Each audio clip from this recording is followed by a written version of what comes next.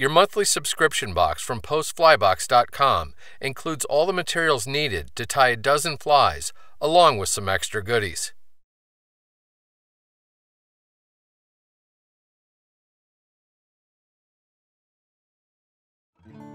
Case the caddis is a rather unique fly intended to imitate a bright green caddis larva poking out of its protective case. And yes, trout eat caddis larvae, case and all.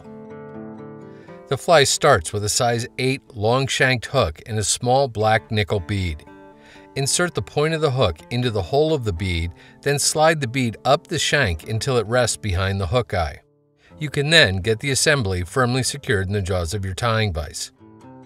Solder wire is used to add additional weight and to help stabilize the bead on the hook.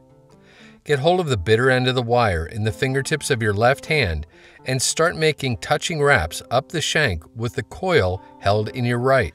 After 20 or so turns, helicopter the wire to break it off close. Be sure to leave some space between the wire wraps and the bead. Pick up a drop of superglue, here Fly Tire Z-Ment, and apply it to the hook shank between the bead and the wire. In one motion, slide the wire wraps forward into the back of the bead and hold them there under pressure until the adhesive sets. This will allow you to tuck in the tail end of the wire without all the wraps simply spinning around the hook shank.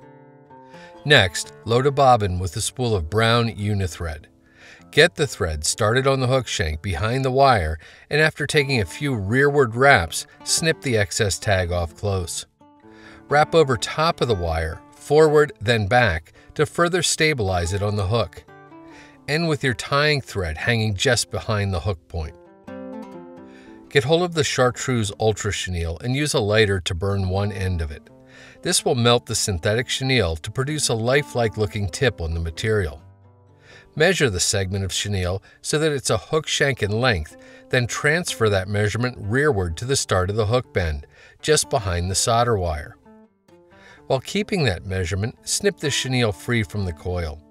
Take wraps of tying thread to secure it to the hook shank. Once again, leave your thread just behind the hook point. Pick up one of the mallard flank feathers and strip off the shorter, webby fibers from both sides of the stem. Preen down 20 or so fibers on one side of the stem, perpendicular to it, and while keeping the tips aligned, pull the stem away to free the fibers. Get hold of the slip of fibers in your right hand and measure so the tips extend about three quarters of the way down the chenille hanging off the back of the fly. Take a thread wrap around the fibers, distributing them around the hook shank in the process. Then adjust the fibers to length if necessary. Take open spiral thread wraps forward to further anchor the fibers, then lift the excess butt ends up and snip them off close. Pick up the coil of copper wire and secure the end to the near side of the hook shank with rearward wraps of tying thread.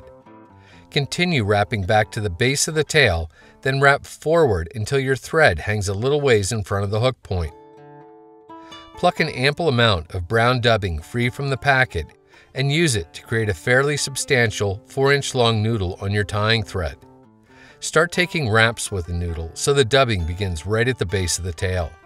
Continue taking touching to slightly overlapping wraps with the noodle up the hook shank to create a body on the fly that tapers from thick in the back to thinner in the front. If you run out of material, go back to your dubbing packet, pick out some more, and create a dubbing noodle long enough to fill in the area behind the bead. Now, get hold of the copper wire and begin making open spiral counter wraps with it up the hook shank over top of the dubbed body. Five or six turns usually looks pretty good. When you reach your tying thread, use it to firmly anchor the wire behind the bead and helicopter the wire to break it off close. Reach for your whip finish tool and use it to do a 5 or 6 turn whip finish, seat the knot well, and snip your tying thread free. Use a dubbing brush, or here a strip of Velcro glued to a popsicle stick, to brush the dubbing out for a more realistic appearance. A drop of head cement, here Sally Hansen hard as nails, applied to the exposed thread wraps will ensure they don't come unraveled. And that's Case the Caddis. It's a rather weighty fly designed to get to the bottom quickly, where the natural case caddis are most often found.